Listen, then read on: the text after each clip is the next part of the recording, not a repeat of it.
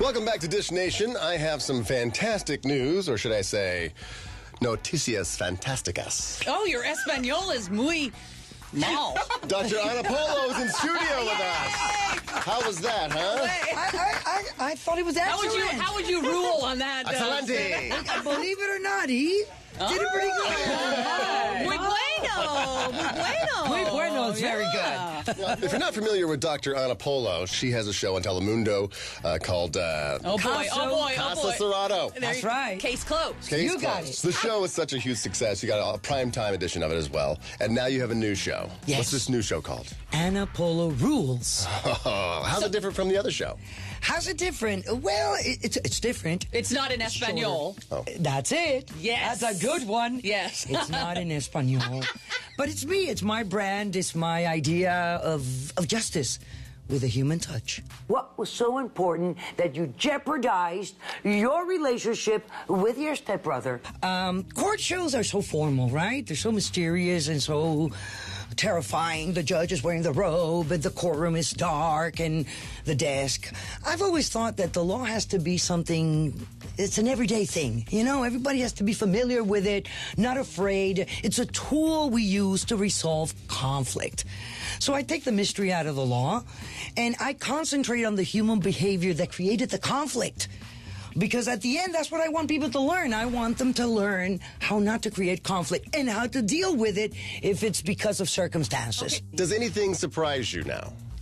A lot of cases dealing with technology surprise me. Uh, the messes people get into when they use applications like Tinder and, uh, Oh, Tinder. right. You might want to. You know, stuff like that.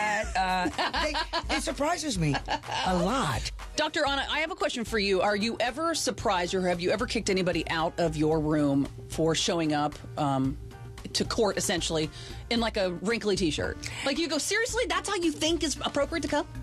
Yes, I've actually had uh, people go in in the studio in my set, like they're dressing up to to go to a disco at night. little shorty With a little dresses. short dress and the you know the chichis up here and uh, really sexy. And I say, "Look, do you think this is appropriate? Right. I would almost say, like, tell them, tell them, pretend you're going to church. But here in Southern California, people go to church, they don't dress up. That's so, right. so you're like, I don't even No, know that's what why I don't, that's why I don't even tell them pretend you're going to church. pretend you're going to court. but I'll tell you something. Judges look at how you're dressed and how you came to court that day, and that is part of the judgment. And they're claiming to be so downtrodden and they need mm-hmm. money, but they have a very nice watch on. You know. Exactly. Oh, exactly. I to gotcha. you. Many child support cases I've dealt with like that. I have no money. Hey, you have a watch here. What are you of yours. wearing? Let me see it. I'm gonna keep it. We're gonna sell it. That's why we love Dr. Ana Polo.